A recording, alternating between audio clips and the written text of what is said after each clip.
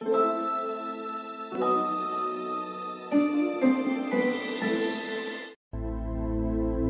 Cloud Kingdom. The Clark family, consisting of Rose, Martin, and their three children, Rosemary, Rosalie, and Randy, embarked on their much anticipated vacation to Miami. Despite their varied personalities, they shared one common trait an undeniable sense of adventure. Rose, the energetic matriarch of the family, had meticulously planned every detail of their trip, from the moment they stepped foot in the airport to their activities in Miami. Martin, on the other hand, harbored a secret fear of the sea stemming from his superstitions about the Bermuda Triangle. He vehemently insisted on flying to their destination, much to Rose's amusement. As they navigated through the bustling airport terminal, Rose led the way with unwavering excitement, while Martin trailed behind, nervously scanning the departure board. Come on, dear, let's not keep the Miami sun waiting, Rose teased, nudging Martin playfully as they approached the gate.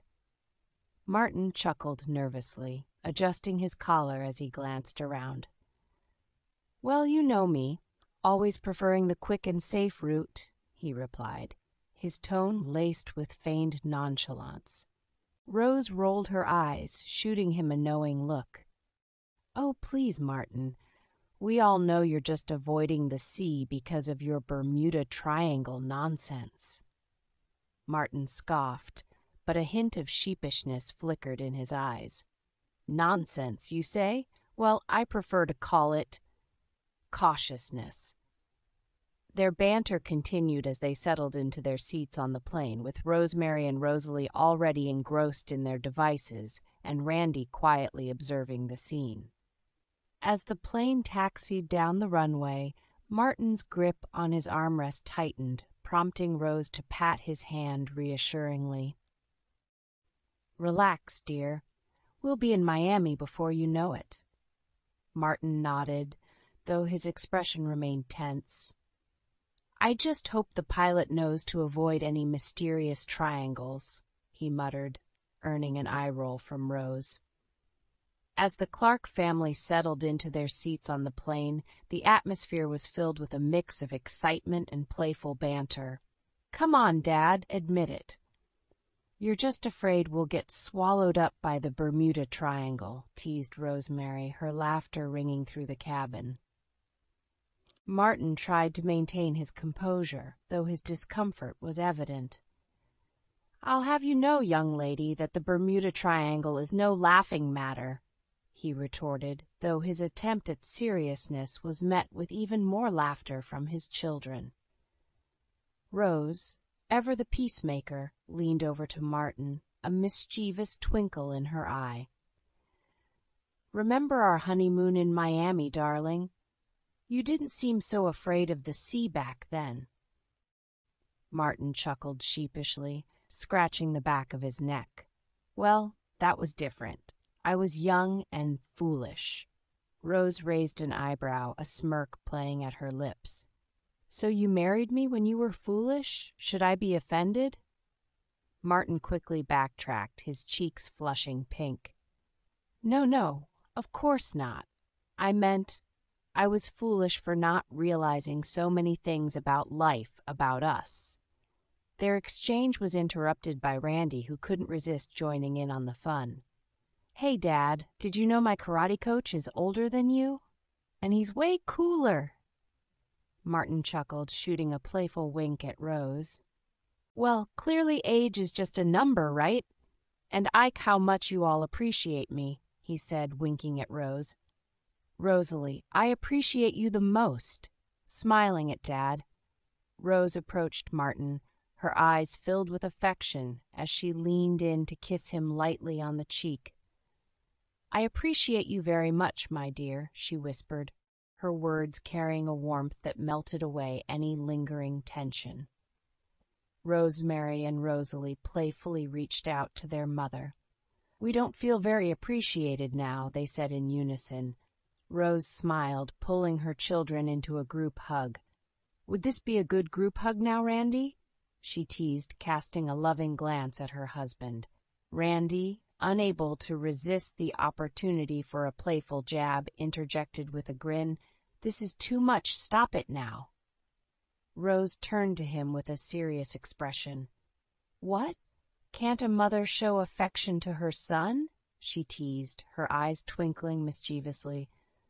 Besides, since when did having a black belt in karate mean I can't be affectionate? Before Randy could respond, Rose leaned over and planted a quick kiss on his cheek, eliciting a laugh from the nearby passengers. Randy chuckled, shaking his head at the playful banter.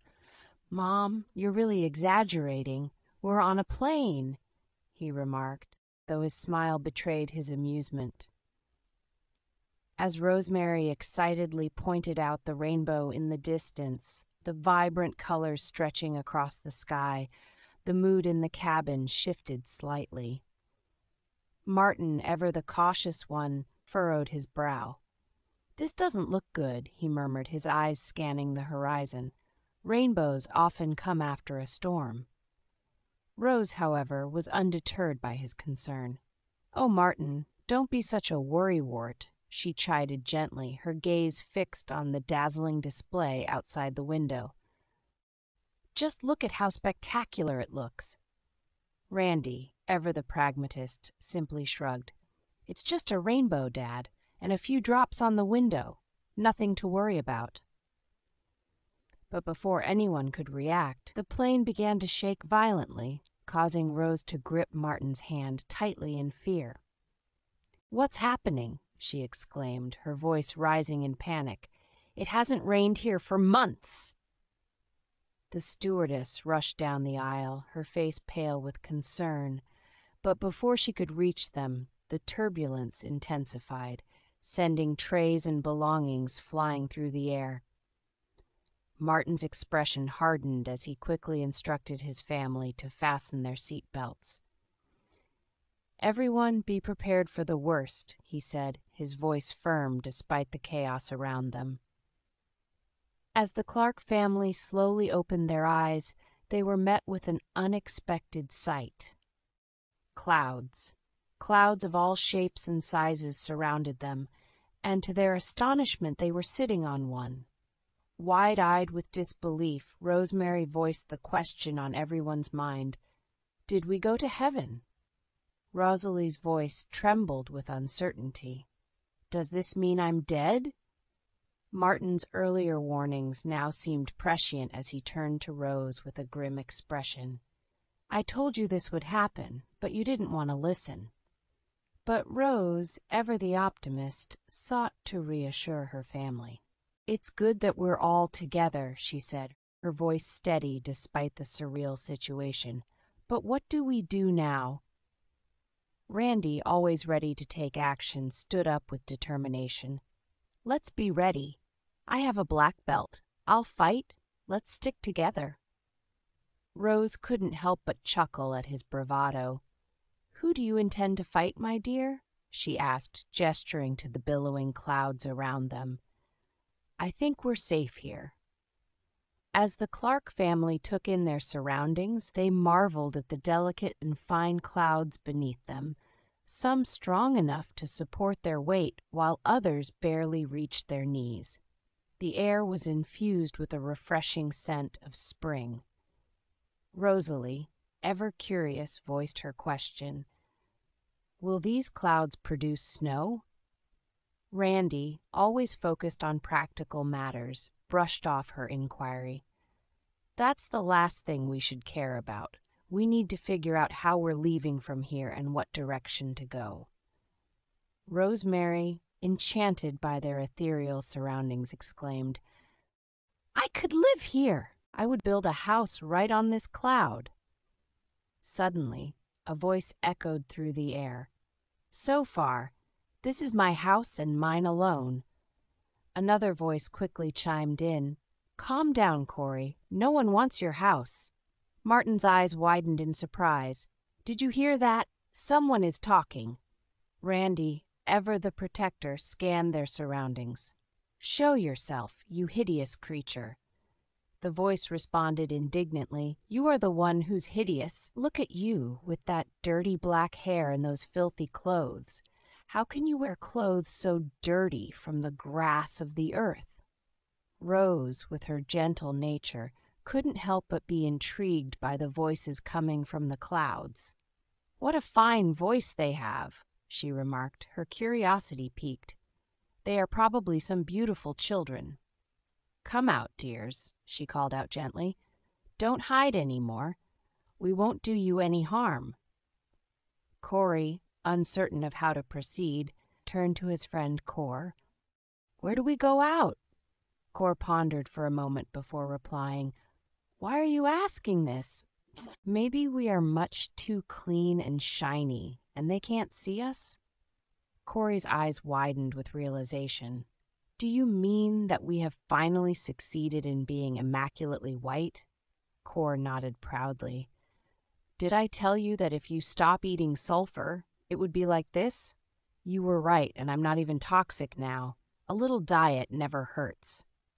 As Rose watched the conversation unfold with fascination, she couldn't help but voice her question. Are you clouds that can talk? Where you are? As Randy observed the situation with skepticism, he couldn't shake off his doubts about the supposed cute children or clouds. With a shrug, he decided to distract himself by showcasing some complicated karate moves. However, after a few impressive maneuvers, he found himself exhausted and out of breath. Phew, that was intense, Randy muttered to himself, wiping sweat from his brow. Probably one of them got a lucky shot on me. Corey, overhearing Randy's comment, jumped to conclusions. See? They are dangerous. Do they want to take our house and kill us? Martin, trying to diffuse the tension, turned to his daughters with a bemused expression. Well, girls, it seems we've stumbled upon quite the lively bunch. What do you make of all this? Rosalie, gripping her father's hand tightly, whispered anxiously, There are so many of them, Dad. I'm afraid. What are they? Martin glanced around at the bustling activity on the clouds and couldn't help but chuckle. Well, it seems we've stumbled into a cloud community with quite the knack for drama, he replied, trying to lighten the mood. Who knew clouds could be so chatty? Meanwhile, Rosemary, ever the optimist, chimed in with a smile. Maybe they just need some company, Dad. We could be like their unexpected guests. As Corey stepped forward and delivered his blunt revelation, the Clark family listened in astonishment. We are not clouds, he explained matter of factly. We are people like you, but without bones and flesh. Anyway, it would be rude to be like that. Rose couldn't help but gaze at the chubby girl standing nearby, whose face and hair indeed resembled a cloud. Beside her stood Cor, a boy about Randy's age, also from the cloud. And to their surprise, a fluffy named Puffluff bounded up, seemingly from the cloud as well. The fluffy was pastel-colored cloud creature with big sparkly eyes floating against a vibrant blue sky backdrop, surrounded by smaller cloud critters, each with their own adorable features like tiny wings, colorful patterns, and playful expressions. Unable to resist the adorable Fluffy, Rosemary scooped Puffluff into her arms, giggling as he showered her with affectionate licks. This is amazing, she exclaimed, her eyes sparkling with wonder. You really look like people, or rather spirits. I don't know how else to describe it. Corey nodded with a smile. We are neither humans nor spirits. Here is our planet, our home. Randy couldn't help but voice his lingering uncertainty. I say so we're not dead? Corey chuckled, shaking his head. Why would we be dead? Here we are very much alive, doing funny tricks and enjoying each other's company. As the Clark family absorbed this newfound understanding, they couldn't help but feel a sense of awe and fascination at the extraordinary beings they had encountered in this mysterious realm among the clouds. The Clark family and the two cloud beings, Cor and Corey, ventured out for a walk through the city. They were awestruck by the myriad shades of white surrounding them. From the gleaming ivory of the buildings to the soft pearl of the cobblestone streets, they discovered that white was not just a single color, but a complex tapestry of thousands of hues. However, their amazement was short lived as they soon learned the strict rules governing the beings of this planet. Referring to them as clouds was met with disdain, as Corinne, the queen of the planet, had established a hierarchy where clouds were considered the most valuable asset. Calling us clouds is an insult, Cor explained, his expression stern. We model the clouds according to strict rules set by Queen Corinne herself. They are the cornerstone of our planet's functioning. The Clark family listened intently as Cor continued to explain the intricacies of their society. Some clouds are used as raw material in the construction of houses or for food, he said, gesturing to the cloud like structures towering above them. Others are sent to the ground according to precise regulations. Corinne, the regal ruler of this unique world, oversaw the distribution of clouds from each factory with meticulous precision. Every decision was made with careful consideration, ensuring the smooth operation of their society. As the Clark family and their newfound companions were introduced into the cloud factory, they were greeted by a mesmerizing sight. Just like cotton candy, the clouds were sorted into an array of shades pink, blue, gray, purple, green, and even multicolored varieties. Fluffy creatures resembling humans busily scurried about, each attending to their assigned tasks with remarkable efficiency. Corinne, the queen of the planet, led them through the bustling factory floor, explaining the different roles and functions of the various clouds. Each shade serves a specific purpose, she explained, her regal demeanor softened by a hint of amusement. From building materials to food and even decorative purposes, every cloud has its place in our society. Randy couldn't help but marvel at the scene before him, his eyes widening in fascination. So, are these fluffy creatures like cloud workers or something? he asked, unable to contain his curiosity. Corinne chuckled, nodding in affirmation. Yes, indeed. They are our diligent cloud workers, ensuring that everything runs smoothly in our cloud-centric world. Meanwhile, Rosemary, ever the adventurous spirit, couldn't resist poking fun at their fluffy companions. I never thought I'd see humans made of clouds, she remarked with a playful grin. But I guess stranger things have happened. As they continued their tour of the factory, navigating through the sea of fluffy workers and colorful clouds, the Clark family couldn't help but feel a sense of wonder and amusement at the surreal yet enchanting world they had stumbled upon. And as they exchanged light-hearted banter amidst the hustle and bustle, they knew that their journey among the clouds was only just beginning. As the Queen invited the Clark family and their companions to the palace, excitement mingled with apprehension. However, their journey was soon disrupted by the ominous presence of dark clouds looming overhead.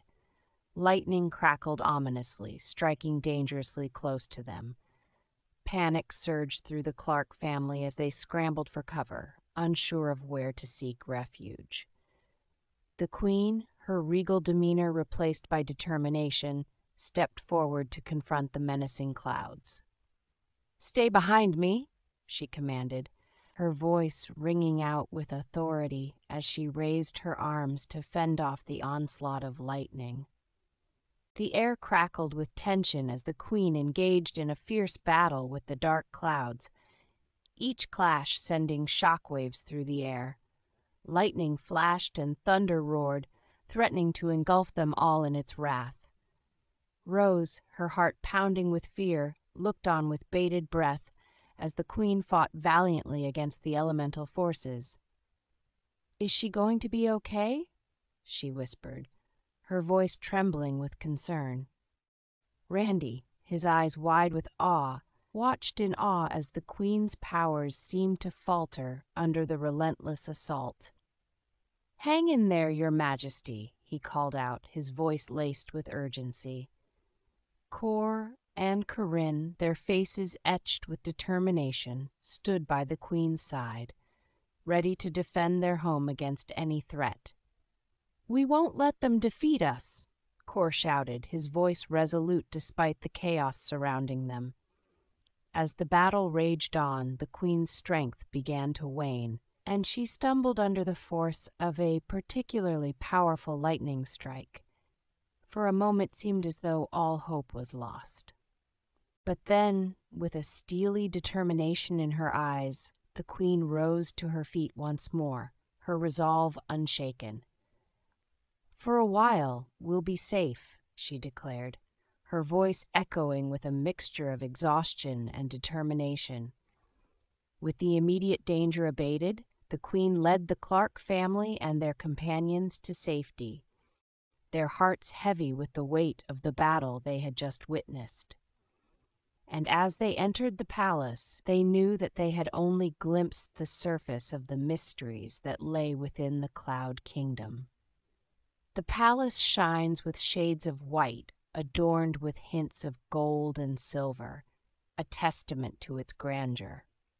Surrounding the queen are countless attendants, tirelessly working to ensure her pristine appearance, making her sparkle with an otherworldly brilliance.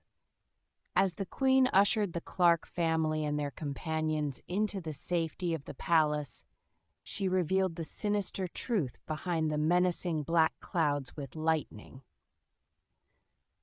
They were the creations of King Blackfly, the greatest enemy of her empire, who had long sought to seize control of her kingdom. For years we have resisted his attempts to conquer us, the queen explained, her voice tinged with determination. But he is relentless in his pursuit of power she continued, explaining that their only hope of returning to Earth lay in stealing King Blackfly's lightning rod, a powerful artifact that held the key to their escape. The fluffy Puffluff whimpered and trembled with fear at the mention of King Blackfly's name, his disheveled fur bristling in alarm. It was a comical sight amidst the seriousness of the situation.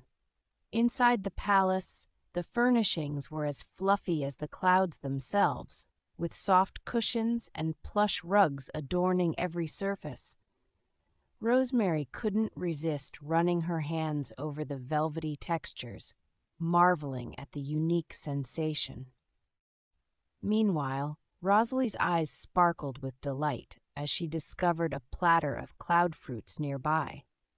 With their enticing aroma and delectable flavor, the fruits were a delightful surprise in this ethereal realm. She eagerly reached out, plucking one from the bunch and taking a tentative bite. Her face lit up with pleasure as she savored the sweet and juicy taste, relishing in the unexpected culinary delight. As the Clark family and their companions settled into the palace, they knew that their journey to steal the lightning rod and escape the clutches of King Blackfly would be fraught with danger. But with the Queen's guidance and the strength of their newfound friendships, they were determined to succeed, no matter the odds. As the Clark family, accompanied by the Fluffy Puffluff and their cloud companions, embarked on their mission to steal King Blackfly's lightning rod, they gathered together to devise a complex plan. Rose. All right, everyone, we need a foolproof plan to get that lightning rod. Any ideas? Randy, how about a distraction? We could create a diversion to draw attention away from the rod while someone sneaks in to grab it. Cor, that's a good start, but we'll need something big to distract King Blackfly and his minions. Corinne, what if we stage a fake attack on the palace gates? It'll draw their attention away from the rod while we make our move. Rosemary, that's risky, but it could work. We'll need to be quick and coordinated. Rosalie, maybe we can use the cloud fruits as bait. We'll lure them away with the promise of a feast while someone slips in unnoticed. Puffluff. Woof woof. I'll distract them with my irresistible cuteness while you guys do the sneaking. Rose. That's a great idea, Puffluff. We'll use you as the ultimate distraction. Martin. While they're focused on Puffluff, I'll sneak in and grab the lightning rod. But we need to be prepared for anything. Randy, I'll cover you, Dad. If anything goes wrong, I'll be ready to jump in and help. Cor and Corinne and I will provide backup from the sidelines, ready to assist if needed. All right, team, Let's put this plan into action. We only have one shot at this, so let's make it count. With their plan in place, the Clark family and their companions set off towards Blackfly's palace, their hearts filled with determination and their minds focused on the task ahead. Little did they know, their daring mission would lead them into the heart of danger and adventure as they faced off against King Blackfly and his forces. As the Clark family and their companions were swiftly transported by their cloud friends to the borders of the palace, they marveled at the breathtaking view. The border was marked by a shimmering barrier of swirling clouds, extending as far as the eye could see. Upon their arrival, they were greeted by Emperor Blackfly with a friendly smile, though his arm bore a visible wound. I tried to save you earlier, he explained, his voice tinged with gratitude. But the great Queen Corinne thwarted our attempts. Rose, her curiosity piqued, couldn't help but inquire about the purpose of their mission. The Emperor's expression turned solemn as he revealed the dire circumstances facing his kingdom. In the ancient prophecy, it clearly says that five heroes will save us, he explained. Save us from diseases, from the darkness we have been in for so many years. Heroes to save you? From what? Rose asked, her brow furrowing with concern. Don't you see? We long to be immaculate, healthy whites once more. Randy, ever the pragmatist, nodded in understanding. So you're counting on us to fulfill this ancient prophecy and bring light back to your kingdom? The Emperor nodded, his eyes reflecting a mixture of hope and desperation. Yes, the prophecy foretells of five heroes who will bring an end to our suffering, and with your help, we may finally break free from the darkness that has plagued us for so long.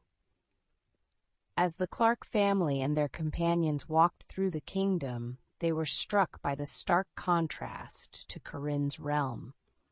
Everything was shrouded in shades of gray and black, with suffering creatures at every turn. It was a bleak and desolate landscape, a testament to the deep impact of Corinne's decisions on her subjects' lives. The Emperor explained how Corinne's choices had profoundly affected them, extracting the good clouds for her own realm while leaving them with scraps. For us there is nothing, he lamented, his voice heavy with sorrow. And it has been this way ever since I dared to question her decisions for our people. He went on to describe how Corinne wielded the power to extract the goodness from the clouds, leaving him with only a scepter that served as a reminder of his powerlessness. From time to time, I use it to scare her into submission, he admitted, his eyes filled with resignation. Randy, ever curious, asked if he could examine the scepter closely. The Emperor handed it over without hesitation, allowing Randy to inspect it with a furrowed brow. Sensing an opportunity, Rosemary motioned for Randy to make a run for it, hoping to escape with the scepter and bring it to Corinne, as was the first plan. But to her surprise, Randy seemed to understand something deeper. As he held the scepter in his hands, Randy realized that stealing it would only perpetuate the cycle of fear and suffering. Instead, he saw the importance of confronting Corinne directly and finding a way to break the hold she had over her kingdom. With newfound determination, Randy returned the scepter to the Emperor, his gaze unwavering. We won't run, he declared, his voice filled with resolve. We'll face Corinne together and put an end to this darkness once and for all. With their hearts united and their purpose clear, the Clark family and their companions set out to confront Queen Corinne, ready to challenge her authority and bring hope back to the suffering kingdom. Then the Clark family and their companions, King Blackfly and his army, were suddenly confronted by the menacing presence of Queen Corinne, ready to do battle. Corinne, taken aback by the unexpected turn of events, addressed the Clark family with a mixture of surprise and disdain. I understand that you want to stay here forever with Blackfly? she questioned, her voice dripping with skepticism. Martin, his resolve unwavering, stepped forward to address the Queen.